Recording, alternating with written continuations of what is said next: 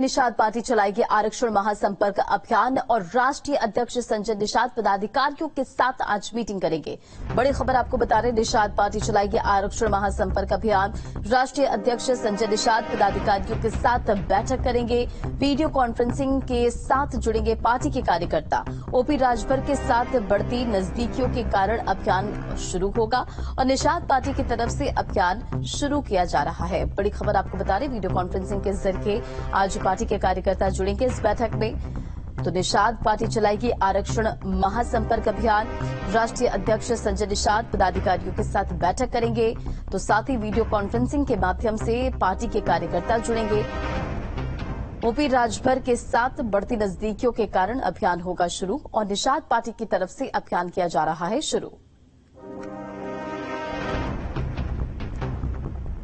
तो एक तरफ़ बीजेपी के साथ ओम प्रकाश राजभर की नजदीकियाँ बढ़ रही हैं तो दूसरी तरफ़ अब आरक्षण के मुद्दे पर निषाद पार्टी आवाज़ बुलंद कर रही है।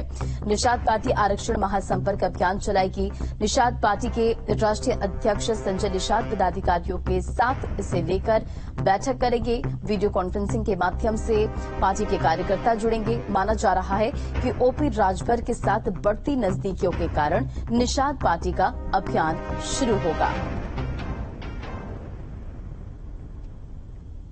और संवाददाता निखिल अधिक अपडेट के साथ जुड़ के सीधा उनका रुख करते हैं। निखिल, एक तरफ़ बीजेपी के साथ ओम प्रकाश राजभर की नजदीकियाँ तो दूसरी ओर अब आरक्षण के मुद्दे पर निषाद पार्टी आवाज़ बुलंद करती हुई नज़र आ रही है। क्या कुछ अपडेट? देखिए, चौबीस के चुनाव को लेकर भारतीय जनता पार्टी अपनी पूरी तरीके से तैयारी में लगी हुई है। सहयोगी दलों का भी वो आकलन कर रही है कि कौन सा दल उसके लिए बेहतर होगा। ओम प्रकाश राजभर की बात जहाँ तक की जाए ओम प्रकाश राजभर ने भाजपा के सामने अपना प्रस्ताव रख दिया है। माना जा रहा है कि ओम प्रकाश राजभर ने तीन लोकसभा सीटों के लिए दावा किया है। तीन सीटों पर प्रत्याशी ओम प्रकाश राजभर को चाहिए अपनी पार्टी का। इसके साथ ही पंद्रह सीटों पर जो उनका जातिगत समीकरण है वो भारतीय जनता पार्टी के प्रदेश अध्यक्ष के सामने रखा है ओम प्रकाश राजभर ने। और यही से आप कहें तो जो गठबंधन को लेकर जो सियासत है, वो थोड़ी सी गर्म हो गई है। संजय निषाद भी चाहते हैं कि उनका गठबंधन भारतीय जनता पार्टी के साथ बना रहे। उत्तर प्रदेश सरकार में कैबिनेट मंत्री है संजय निषाद। बड़ा विभाग है, बड़ा हो रहा है। तो लिहाजा जो जातिगत मुद्दा है आरक्षण, अब उसको लेकर जो है एक तरफ़ ओम प्रकाश राजभर दावा कर रहे हैं कि उस पर चर्चा मुख्यमंत्री के साथ उनकी हो गई है और उसको लेकर वो अभियान चला रहे हैं। दूसरी तरफ़ संजय निषाद भी ये वीडियो कॉन्फ्रेंसिंग के ज़रिए अपने तमाम समर्थकों से इसको लेकर संवाद करेंगे। एक मुहिम शुरू करेगी जो है वो संजय निषाद की निषाद पार्टी। जिसमें आरक्षण सबसे महत्वपूर्ण मुद्दा होगा।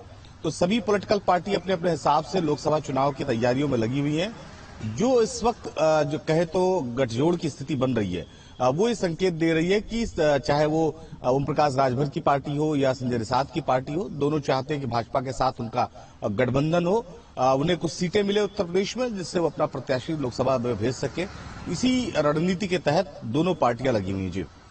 वाकई देखिए एनडीए में क्या चल रहा है, ये थोड़ा कंफ्यूजिंग है निखिल, और साथ ही क्या राजभर के खिलाफ ये रण है? और दूसरी बात ये कि ओम प्रकाश राजभर भी अपने स्टैंड क्लियर नहीं करते, इसे कैसे समझा जाए? देखिए, एक बात बहुत साफ़ है कि भारतीय जनता पार्टी सरकार में है, इस वक्त उत्तर प्रदेश में, और आने वाले लोकसभा चुनाव में भारतीय जनता पार्टी की सबसे मज़बूत स्थिति है उत्तर प्रदेश में। तो ऐसे में चाहे वो ओम प्रकाश राजभर की पार्टी हो, चाहे संजय निषाद की पार्टी हो या अपना दल सभी दलों को लगता है कि अगर वो भारतीय जनता पार्टी के साथ मिलकर चुनाव लड़ेंगे तो चुनावी फ़ायदा उनको भी होगा। और साथ ही भारतीय जनता पार्टी भी बात समझती है कि जो जातिगत समीकरण है अगर इन दलों को साथ में लाने के बाद वो भी सधेगा तो लिहाजा आप देखिए भारतीय जनता पार्टी के साथ जो है वो अपना दल जो है वो गठबंधन में है संजय निषाद गठबंधन में है। ओम प्रकाश राजभर भी विधानसभा चुनाव में पिछले पिछले के पिछले विधानसभा चुनाव में साथ में लड़े थे भारतीय जनता पार्टी के। ठीक है लेकिन बाद में सरकार से नाराज़गी हुई उन्होंने इस्तीफा दे दिया। हम्म। और उन्हें ये बात समझ में आई कि वास्तविकता में भारतीय जनता पार्टी से दूरियाँ जो है वो ठीक नहीं है। लिहाजा अब इस बार फिर जो है वो भारतीय जनता पार्टी के साथ जुड़ना चाहते हैं। जी। ठीक है, निखिल, चलिए इन तमाम जानकारियों के लिए बहुत बहुत शुक्रिया। नज़र बनाए रखे। तो एक तरफ़ बीजेपी के साथ ओम प्रकाश राजभर की नजदीकियाँ बढ़ रही हैं तो दूसरी तरफ़ अब आरक्षण के मुद्दे पर निषाद पार्टी आवाज़ बुलंद कर रही है। तमाम सवाल उठ रहे हैं कि क्या राजभर के खिलाफ ये रण है? और निषाद पार्टी के राष्ट्रीय अध्यक्ष संजय निषाद पदाधिकारियों के साथ आज एक बैठक करेंगे।